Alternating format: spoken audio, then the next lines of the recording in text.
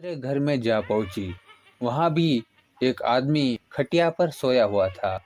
चुड़ैल ने उसको देखकर फूक मारी, लेकिन इस बार उसके फूक का असर उस पर ही उल्टा पड़ गया और उसका ही शरीर खुजलाने लगा। ऐसा इसलिए हुआ क्योंकि जिस आदमी पर चुड़ैल ने अपनी फूक मारी थी, वो असल में एक पुजारी था और उसके पास देवी माँ का कवच था। उसका वो कवच फैलकर चुड़ैल को दूर फेंक दिया। इस घटना के बाद चुड़ैल ने ऐसा फिर कभी नहीं किया।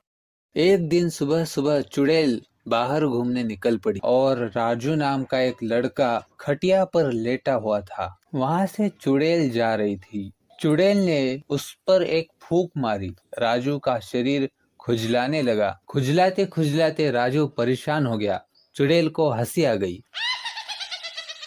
हँसते हँसते वो चुड़ैल दूसरे घर में जा पहुँची। वहाँ भी एक आदमी खटिया पर सोया हुआ था।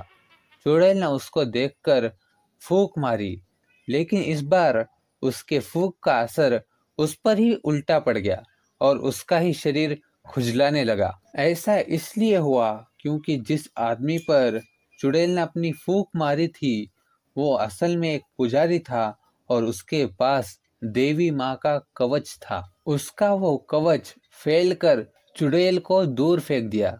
इस घटना के बाद चुड़ैल ने ऐसा फिर कभी नहीं किया। एक दिन सुबह